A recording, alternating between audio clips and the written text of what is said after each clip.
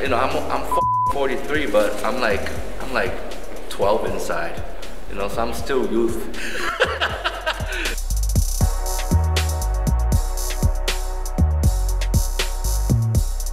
you know, from Instagram, looking through Instagram memes, you know, everything, you know, just the whole culture, and everyone's, you know, sharing the same kind of thing.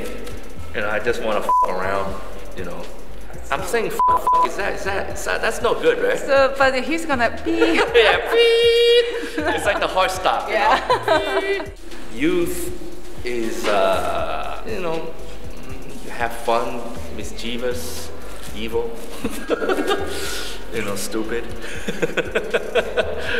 yeah, like no fear. You know, just enjoy fucking life. Oh, I said that again. Enjoy life. yeah, you know, it's it's the it's the it's the energy that keeps you going. You know, even though you you grow older, you know, you know, but your your heart is always youthful. It's like a, it's like a water fountain, you know. but I think I like it that way. You know, I've been I've been you know, it's always been like this for me. So I can't change. You know, my dad always said, you know, even though you die, stupid people live forever. You know. You know, the stupid never, you know, disappear. You gotta do crazy things when you're young because you can't do crazy things when you get old.